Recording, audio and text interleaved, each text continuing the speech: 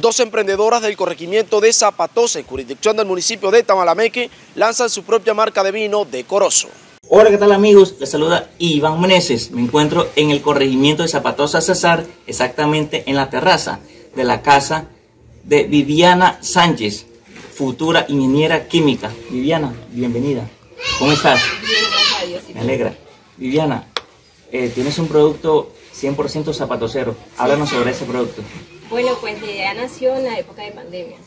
Principalmente iniciamos como para consumirlo nosotros en la casa. Y después de ahí la ¿no? ¿Por qué no lo hacemos como para que la gente pruebe a ver si les gusta? Y eh, pues mi hermana Marta Juliet Sánchez eh, hicimos el producto, pero principalmente lo vendimos en botella de gaseosa. Eso fue para diciembre de 2020. Para diciembre de 2020 iniciamos vendiéndolo en botella de gaseosa. Este es el producto que Viviana y su hermana han elaborado. Un vino artesanal que lleva por nombre Tornován. Es vino tinto hecho en Zapatosa Cesar. ¿Qué significa Tornován? Eh, principalmente estábamos buscando qué nombre colocar. Eh, pensamos en nombres de alguna planta o algo de la región, pero eh, se nos vino también preguntarle a los pescadores qué nombre habían para los diferentes lugares de la ciénega. Y nos dijeron que había un lugar donde que le llamaban Tosnovan. Pero nosotros como que no suena, no suena mucho porque eso suena más como un producto para la gripe. Entonces dijimos, no, ¿por qué no Tornovan? Entonces sí, a todos nos gustó la idea y ¿De qué está elaborado este vino? Eh, de Huite en algunos lugares se conoce como corozo. Aquí en Zapatosa se conoce como corozo. Sí, y en, otras partes del Cesar y de la región también. ¿Cuál es el tiempo de elaboración de este producto? Eh, en un periodo más o menos de 5 a 6 meses. De 5 a 6 meses. Sí.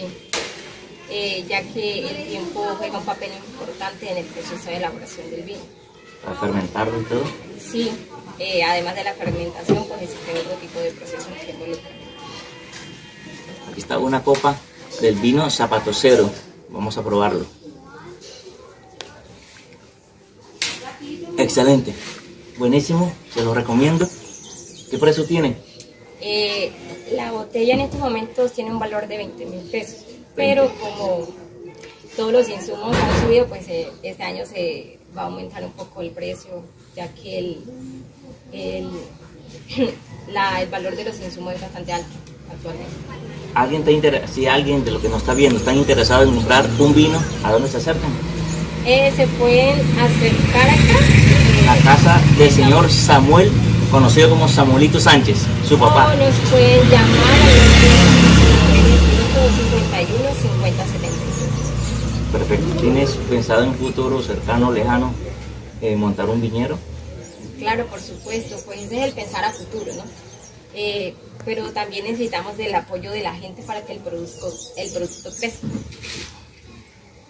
El material utilizado es que uva, solamente, principalmente, la, uva, la materia prima. ¿Y qué más has utilizado?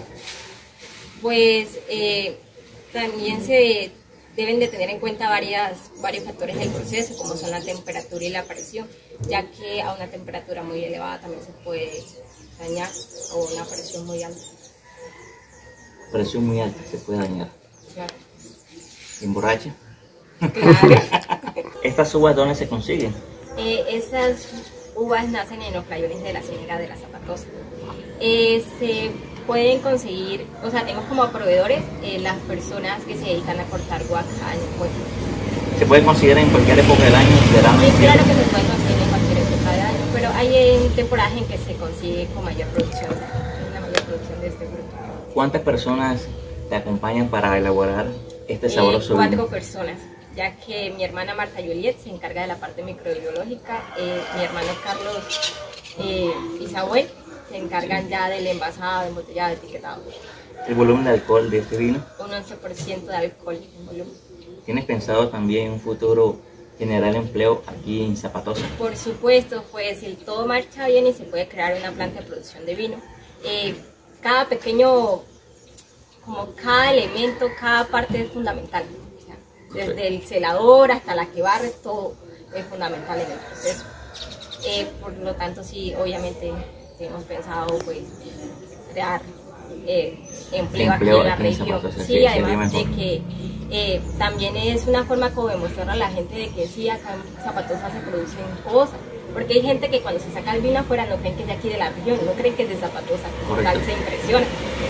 Y son pocas, pocos los vinos que se consiguen, sean cesarenses, especialmente de un pueblo como Zapatosa que ha olvidado. Sí, por supuesto, y no, que también tenemos una materia prima exótica, que es la uvita de lata. Viviana, muchas gracias. Bueno, gracias a ti.